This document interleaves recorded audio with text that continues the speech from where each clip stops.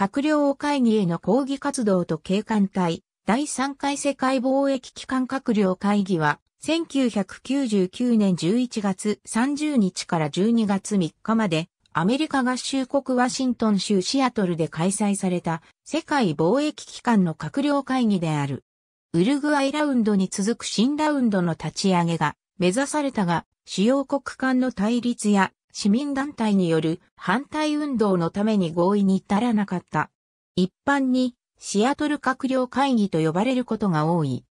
WTO の最高意思決定機関である本閣僚会議において新ラウンド立ち上げに合意できなかった原因としては以下の点などが指摘されている。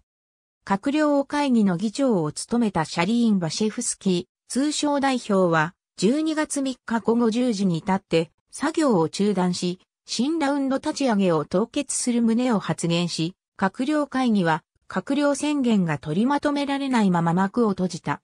なお、日本からは、河野洋平外務大臣、玉沢徳一郎農林水産大臣、深谷隆通商産業大臣らが出席した。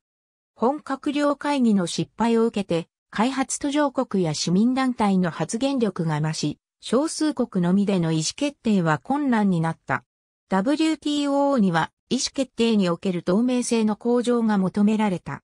また、WTO の各種会合等において市民団体の反対運動が激化した。